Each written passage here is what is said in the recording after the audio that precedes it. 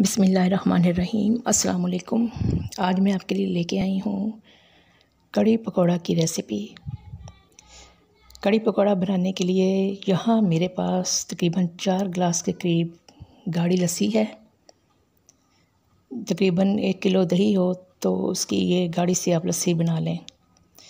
कड़ी के लिए दही का खट्टा होना बहुत ज़रूरी है और यहाँ मैंने तकरीबन एक कप के करीब बेसन लिया है। और इस बेसन में, इसी से, यहीं से मैंने एक कप के करीब उसमें लस्सी डाली है। अब लस्सी डालने के बाद मैं यहाँ पर इसको बड़ी अच्छी तरह मिक्स करूँगी। ये देखिए, यहाँ मैं इसको मिक्स कर रही हूँ। इसको मैं बड़ी अच्छी तरह मिक्स करूँगी। याद रखें कि कड़ी कभी भी जल्दी नहीं बनती। कड़ी बहुत आहिस्ता आहिस्ता बनती है। जितनी ये आहिस्ता बनेगी, हल्की आँच पे पकेगी, ये उतनी ही लजीज बनेगी। यहाँ मैं इसको अच्छी तरह मिक्स कर रही हूँ ताकि इसमें गुठलियाँ ना रह जाएँ बेसन में। और जैसे ही ये मिक्स होगा तो मैं इसे इसी कड़ी, इसी लस्सी में डाल दूँगी। और डालने के बाद फिर मैं इसको छान कर रख लूँगी। उसके बाद फिर मैं मसाला भूनती हूँ। यहाँ देख लें मैंने अच्छी तरह इसको मिक्स कर लिया ये देख लें। यहाँ मैंने कर लिया इसको। अब मैं इसको अपनी इसी लस्सी में डाल दूँगी। और डालने के बाद फिर मैं इसको छान लूँगी। इसको छानना बहुत ज़रूरी है। यहाँ मैंने तकरीबन चार टेबल स्पून के करीब ऑयल लिया है और इसमें एक छोटा सा प्याज काट के मैंने ये डाल दिया ऑयल मैंने इसलिए कम रखा है कि चूँकि कड़ी में बाद में तड़का भी लगता है, इसलिए यहाँ मैंने इसे कम ही रखा है, क्योंकि हमारे तड़के में घी भी इस्तेमाल होता है। यहाँ जैसे ही मेरा प्याज थोड़ा सा भुना जाता है पिंक होता है तो फिर मैं इसमें बाद में दूसरे मसाले डालूँगी। और इसे कड़ी को हमेशा हल्की आँच पे पकाइए। यहाँ मैं लहसुन अदरक का पेस्ट डालूँगी और मैंने एक छोटा सा टमाटर लिया है। अब मैं इसे थोड़ा सा भून लेती हूँ। आँच अभी फ़िलहाल आप हल्की ही रखें। थोड़ा सा मैं इसमें पानी डाल देती हूँ। ये देखिए मैंने पानी डाला थोड़ा सा थोड़ा सा मैं भून के, अब इसमें मैं वन टीस्पून के करीब सुरख मिर्च डाल दूँगी। और इसमें हल्दी इसमें जाएगी, लेकिन वो आम सालन की नस्बत थोड़ी सी ज़्यादा जाएगी। कड़ी में हल्दी थोड़ी सी ज़्यादा पड़ती है, तकरीबन हाफ़ टी स्पून के करीब आप हल्दी डाल दें इसमें। और इसके बाद जो नमक मैं डालूँगी, वो नमक अपने टेस्ट के हिसाब से डालना है, क्योंकि हमारा पकौड़ों में भी नमक होगा। इसलिए फिर देखना पड़ेगा कहीं ज़्यादा ना हो जाए। अब मैं इसे भूनती हूँ। अब जैसे ही मसाला भूनता है तो मैं साथ ही जो लस्सी का बैटर तैयार किया है और मैंने छान के रखा था, वो मैं इसमें डाल दूँगी आहिस्ता आहिस्ता करके। साथ साथ आप चम्मच चलाते जाएँ बीच में।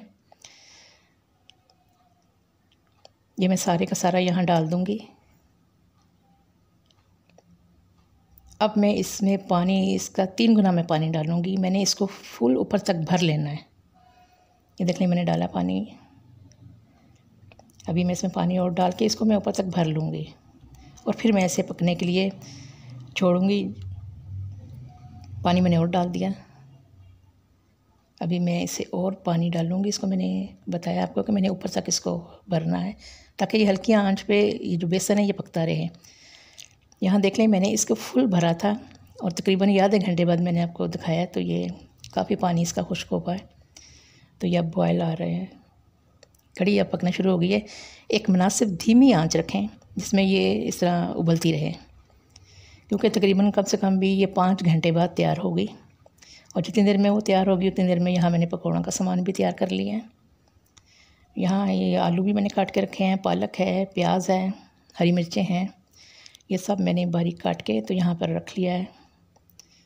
हरा धनिया भी मैंने इसमें बारीक काटा हुआ है। यहाँ मैंने दो कप के करीब बेसन लिया है।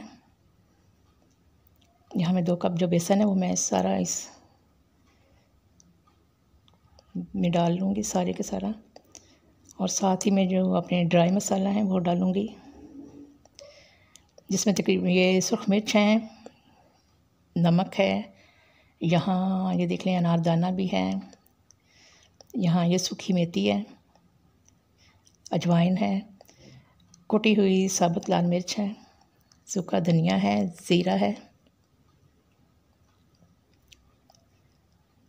यहाँ ये जितने भी मसाले हैं, ये सब आप अपने टेस्ट के हिसाब से ले सकते हैं। कोई ज़्यादा करना चाहते हैं तो कर लें, कोई कम करना चाहते हैं तो कर लें।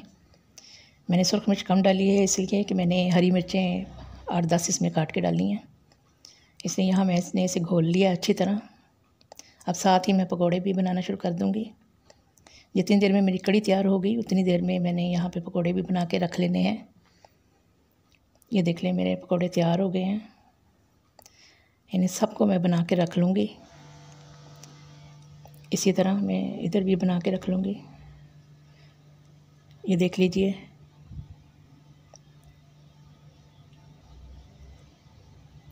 अब ये देखें अब ये मेरी कड़ी देख लें, तकरीबन तैयार हो चुकी है। इसे मैंने ज़्यादा गाढ़ा नहीं रखा। यहाँ मैंने एक चम्मच टेबल टी स्पून तकरीबन है मैंने चाट मसाला डाला है और टी स्पून ही मैंने हाफ़ टी स्पून सफ़ेद ज़ीरा मैंने भून कर पीस कर रख लिया था, वो मैंने डाला है। ये दोनों चीज़ें इस स्टेज पे आपने लाजमी डालनी है। इसी से इसका जायका बनेगा। और हरा धनिया डाल के इसको मैं थोड़ा सा हिलाऊँगी और साथ ही मैं पकोड़े डाल दूँगी। और पकोड़े डालने के बाद फिर मैं इसको तकरीबन एक घंटे के लिए रख दूँगी। चूल्हे पे मैंने अब आँच इसकी बंद कर देनी है। जैसे ही मैंने पकौड़े डालने हैं, मैंने साथ ही आँच बंद कर देनी है। और उसके बाद तकरीबन एक घंटे के लिए मैं इसे रखूँगी क्योंकि कड़ी जो है वो पकौड़े डालने के बाद गाढ़ी हो जाती है। इसलिए इसको मुनासिब सही आप गाढ़ा रखें, ज़्यादा गाढ़ा नहीं इसको करना। ये पकौड़ों को मैंने डिप कर दिया इसमें अच्छी तरह। ये देख लें। अब मैं इसे तकरीबन एक घंटे के लिए रखूँगी। और साथ ही मैंने दूसरे चूल्हे पर तड़का भी रख दिया। है यहाँ मैंने हाफ़ कप से थोड़ा सा कम लिया है ऑयल। उसमें मैंने दो कड़ी पत्ते डाले हैं, सात आठ के करीब साबत सुरख मिर्च डाली है, थोड़ी सी क्रश चिली भी डाली है, कुटी हुई जो सुरख मिर्च है वो डाली है, और एक वन टेबल वन टीस्पून के करीब मैंने इसमें सफ़ेद ज़ीरा डाल दिया है। अब थोड़ा सा ये फ्राई होगा तो मैं इसे अपनी कड़ी के ऊपर डाल दूँगी। यहाँ भी ये थोड़ा सा भुनने वाला है, रह गया। ये देख लें। अभी थोड़ा सा मैं इसको और कर लेती हूँ, ताकि इसमें ज़ीरा भी मिक्स हो जाए सारा। ये देखें, मैंने कड़ी डाल दी थी और उसके ऊपर भी मैंने ज़ीरा भी डाला है भुना हुआ पिसा हुआ और चाट मसाला भी डाला है और ये मैंने ऊपर अपना, अब तड़का भी डाल दिया है। ये लीजिए, ये कड़ी तैयार है। जब भी आप इसको बनाएँगे तो ये इतनी लजीज और शानदार बनेगी। कि आप इसका जायका कभी भी बुला नहीं पाएँगे, कि आपको एक इतनी अच्छी रेसिपी मिली। इसे ज़रूर ट्राई कीजिएगा। जेल नहीं हमारी कड़ी तैयार है।